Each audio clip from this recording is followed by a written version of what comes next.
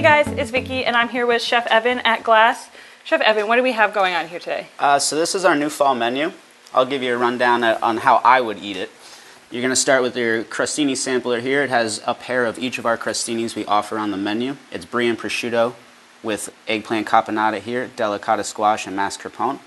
Moving into next, I would then start with my salad. It goes with an apple soubise, whipped mascarpone, beets, pepitas, and candied pecans. This here is one of my favorites. It's a Spanish style albondigas or a uh, flash fried meatball over creamy polenta with a rosa sauce. This here is one of our vegetarian dishes. Can be made vegan very easily. It's a stuffed acorn squash and it's stuffed with wild rice and lentils, topped with cranberries and pecans.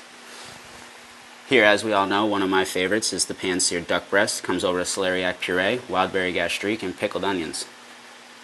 And who doesn't love a good potato? These are smashed fingerlings tossed in a brown butter rosemary sauce.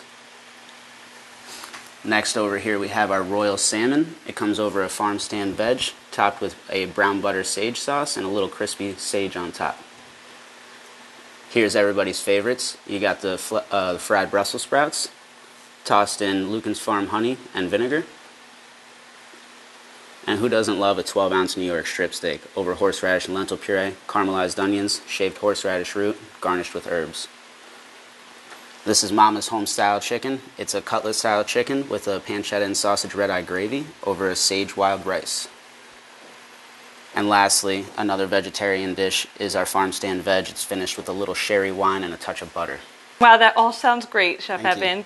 Uh, what else do we got going on here at Glass? Uh, we're bringing back the greenhouses this fall, so that'll start mid-November. You can start making your reservations now, and you'll see renditions of this menu plated family style in your private dining setting.